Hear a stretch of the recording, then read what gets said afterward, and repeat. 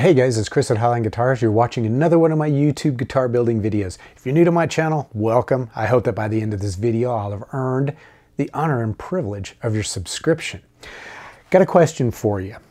Is it possible to plan for or predict the tone of a solid body electric guitar before that guitar has even been made? Now the short answer would be yes. Of course you can. It's what a lot of luthiers do when they set about building a guitar, is they will select certain parts and materials that they know are likely going to impart a certain kind of tone. Now, if you're building the guitar for yourself, you can get fairly accurate if you have experience. If you're building guitars for other people, you also have to factor in the equipment they're playing through as well as their playing style. And we don't always know that, and we don't always know how they intend to use that guitar. Perhaps they're looking for a guitar that's going to have a specific kind of tone that they want for a specific song. So they would only play that guitar for the one song. So uh, you have to keep that in mind. But understanding how we predict or plan for the tone can help us to build the instrument uh, properly so that it will yield the tone that we're after. But what it also does is it gives us the ability to know what needs to be done should the guitar not exactly produce the right tone that we're after. We'll, we'll have a, a strategy that we can follow to alter the guitar so that it will produce the kind of tone that we want. Now, a lot of this is actually somewhat moot in the modern era because we do have access, or many people have access, to um, software which can manipulate the tone of the guitar. So uh, we're talking about uh, modeling software and a lot of amps come equipped with it. You can purchase software for uh, computers and laptops and tablet type uh, uh, equipment that you could plug your guitar into in order to get those tones. But if you're more of a purist or you're trying to respond to a customer's wishes by building a guitar that's going to produce a certain kind of tone, you have to know how to select the parts and the materials in order to get you into that uh, ballpark where they're going to have the, the right tone to begin with. A lot of folks don't like the idea of modeling the tone that they want through the amplifier and through software. So you want to try to build the guitar so that will produce that kind of tone. So how do we do this? Well, for one thing, I would love to hear from you all. Uh, if you've got a a, a technique or a system that you follow in order to build a guitar so that it's going to yield a specific kind of tone and you've been successful, share that down in the comments section below. Uh, I would love to hear what your methods and techniques are, and I'm sure everybody else watching would, would appreciate that as well. The way I do it is, I think it's probably a way that other luthiers will do it as well, but typically I divide a guitar into two categories. You have the parts category and the materials category. The part category is the pickups, the electronic controls, the fret wire, the nut, um, the tuners, and any of the hardware that you attach to the guitar once you're in that final assembly stage. The material component or category is what you make the body, the neck, and the fretboard out of, which of course is wood. Now the nut can also uh, factor that into that as well, because when I said that a, a nut is, uh, I consider it a part, that would be if I was using like a roller nut or a Floyd Rose nut. But if you're making more of a traditional guitar, you're going to be making the nut out of a material such as bone or antler or corian or whatever. So really the nut is probably one of the only uh, components on the guitar which can be listed as either a part or a material.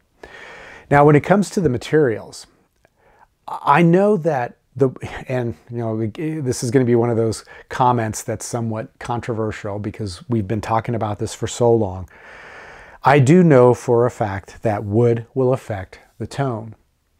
So in theory, you can pick a certain species of wood like mahogany or maple, and it's supposedly going to impart a specific tone on the guitar that you're building. However, it is very minimal, first of all. Second of all, it can't be controlled. You can pick from five different slabs of mahogany and build guitar bodies from them, and they could all sound different. So it's the, the tone of the wood isn't species dependent, it's board dependent.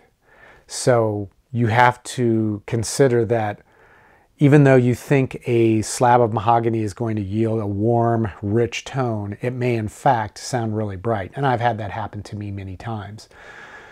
As a result, I don't really consider wood to be as significant a factor in planning and predicting the tone of the, of the finished guitar. Instead, I choose the wood because I like the way it looks, I like the way it works, and I also have to select wood because it has a certain feature set that is necessary for what I'm using it for. A good example of that is a fretboard. A fretboard has to be made out of very hard, dense wood because it has to hold the frets in place. So we typically will use rosewoods, ebonies, the hard maples, that sort of wood. And I like to use woods for the body that are light in weight, but still durable enough to resist dings and scratches but at the same time is easy to work. So I do a lot of research to select woods that I'm going to be able to incorporate into the body, the neck, and the fretboard that are going to serve those purposes well. I don't worry so much about how they're going to impact tone because it doesn't matter. I can't change it and I can't predict it just by looking or even tapping a board. You just don't know what it's going to sound like until after the guitar has been completely made. At that point, there's nothing you can do to change it anyways with respect to the wood. Now, as far as the parts are concerned, I will select certain parts because of how they impart tone. And probably the most significant part, as you know, is the pickup.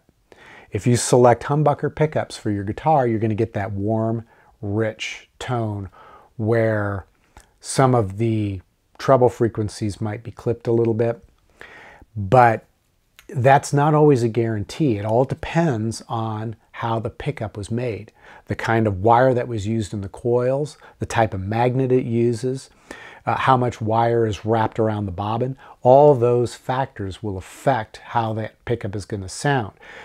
But once you have experience and understand how these different elements of the pickup affect the tone, you can read the specs for a pickup and get a pretty good idea of how that pickup is going to affect the tone of the guitar you're going to build. So if you're looking for a certain kind of tone, you got that in the back of your mind, you can shop through pickups based on the specifications of the pickups and hopefully who you're shopping with is providing all the information that you would need.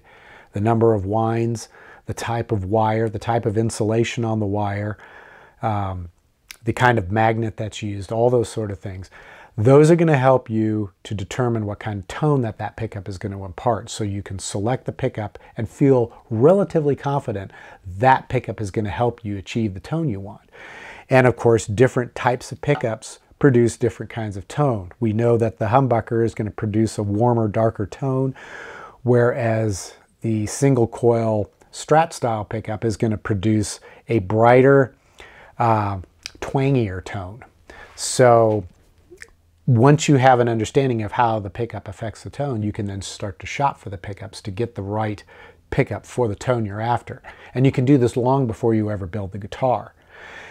And the other uh, components that have an effect on tone, of course, are the electronic controls that control the signal coming out of the pickup. I'm talking about the potentiometer and most importantly, the capacitor that is soldered to the tone potentiometer.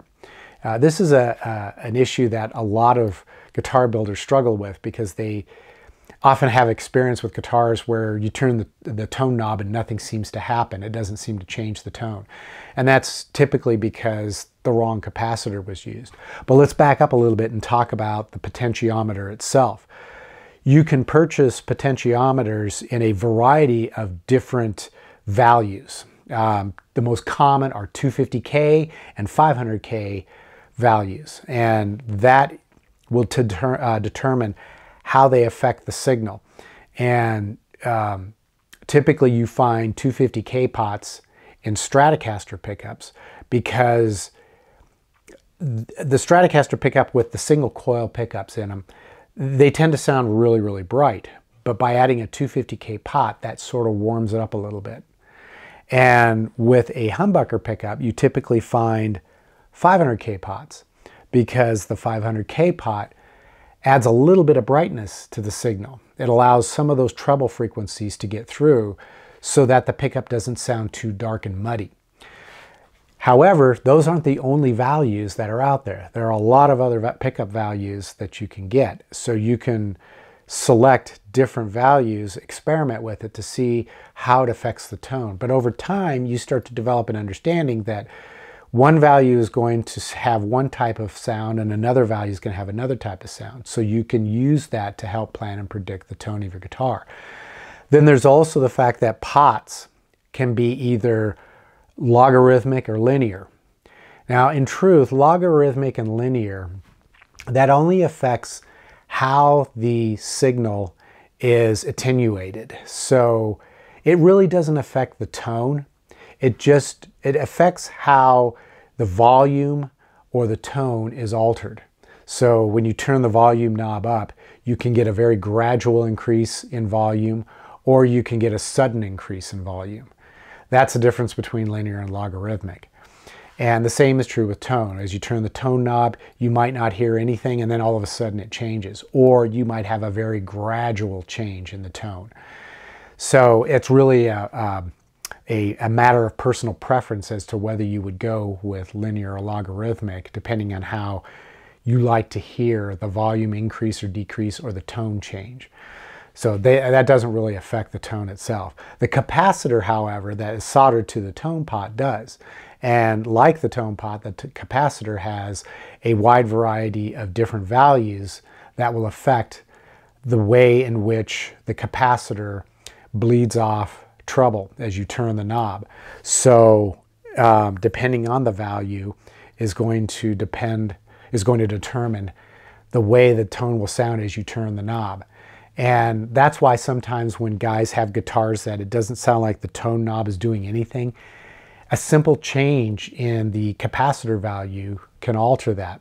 But what you have to do is you'll have to research which capacitor values uh, you think will be most effective at achieving the tone that you want. And once you have some experience, you'll understand just by simply reading the value of the capacitor, what effect that's going to have on your tone.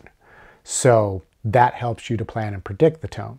Now, as far as other electrical components such as the switch and the jack, uh, some folks are going to argue with me on this one, but their impact on tone is probably so minimal you can't hear it with the human ear. You would have to use software that and, and sound analyzing equipment in order to determine that there might be a difference. So it's not even really worth mentioning. The uh, selection of the, um, the, the pickup selector switch and the jack is just dependent upon what you're trying to do as far as switching between pickups and getting the sound out to your amplifier. So I wouldn't even worry about those for tone. Now as far as fret wire and tuners, um, fret wire, I think, definitely does have an effect on tone. If you're going with a jumbo fret that has a more rounded top, you're going to have a slightly different tone as you play the guitar than if you were to have a short, really narrow um, uh, fret wire that has a very narrow contact patch on it. But again, it's going to be very, very small. And because you've uh, installed the frets into the fretboard, during construction, if after you finish building the guitar, you decide, wow, I, I don't like that tone, maybe I should change the fret wire. That's kind of silly when you can just simply change the pickups. So I don't think it really bears mentioning. And the same is true with the, the tuners. Their impact on tone is going to be very minimal. And really, I think where the impact on tone is could potentially be noticeable is when you're trying to compare a really cheap quality tuner to a really high-end, expensive, well-made, uh, top-of-the-line tuner. So um, that's really the only difference. And I think that with the cheap, poor quality tuner, because of slop, you tend to lose some of the tone because they transfer the vibrations of the string into the wood at the headstock where it's no longer available to be detected by the pickup. But that's getting into some really complex physics there. But just know, if you really want to maintain a certain tone based on all the parts and materials that you've selected, you owe it to yourself to use a good quality tuner to maintain that. So, and then there's other little components like the strap buttons. Forget about those. They have no effect on tone. And I know there are going to be people out there who are going to argue that because they can. That's one of the disadvantages of the internet and social medias. Everybody wants to be thought of as a genius when it comes to this sort of thing. But no, the strap buttons aren't going to affect the tone. And neither are things like the, the string ferrules, um, the, some of the screws and things that are used to hold everything together. Um, now the bridge definitely could impact tone. Um, but again, that's one of those that's not well documented. We don't really, you know, we don't have a chart listing all the different kinds of bridges and what the kind of tone they produce. So it's kind of a crapshoot there. But I will say that, in my opinion, the selection of the bridge plays a greater role in determining the sustain of the guitar than it does the tone of the guitar. It might have a little bit of effect on the tone, but I don't think it's worth incorporating into your uh, process of planning and predicting the outcome of the tone in the end. But knowing all this stuff, again, it's going to help you to plan and predict the, the, the tone of the guitar so that when you, you finish it and hand it over to the customer, it's exactly what they were hoping for. But if it isn't, if the tone doesn't quite meet their expectation, you can figure out from talking to the customer what went wrong. Or if you're building the guitar for yourself, you can ask yourself that question. Where, why isn't this sounding the way I want it? And because you understand how you selected all the parts and materials to build the guitar, you're going to be able to very quickly identify the elements that can be changed to help dial in that tone. And in almost all cases, that change is either going to be the pickup or pickups or the capacitor on the, on the tone pot. You can make those changes and suddenly transform the instrument and make it exactly what you want. And unfortunately, if, if you're new to this, you may have to go through a couple of different pickups before you get the tone exactly the way you want it. And there's a good chance that you'll you'll swap out pickups and still not quite be there but in the back of your mind you're going to say but that's okay. I can adjust the eq on my amplifier and it'll nail it. So i hope you find this video to be useful and and thought-provoking and i hope that it will help you in your quest to build not only the perfect playable guitar but a guitar that has exactly the tone that you're you're going after. So uh, as always um, be sure to give this video a thumbs up if you enjoyed it. Um, visit eguitarplans.com or my Highline Guitars merch store. There's links in the description below. And any purchase you make there is going to help support this channel because I don't offer memberships and I don't offer uh, Patreon. Um, and of course, if you want to keep it simple, you can just click the thanks button and leave a little tip in the amount that you think is fair. That's if you get something out of the video or any of my videos. And of course, until the next episode, as always, take care, stay safe, and I hope you'll be back for more future guitar building videos.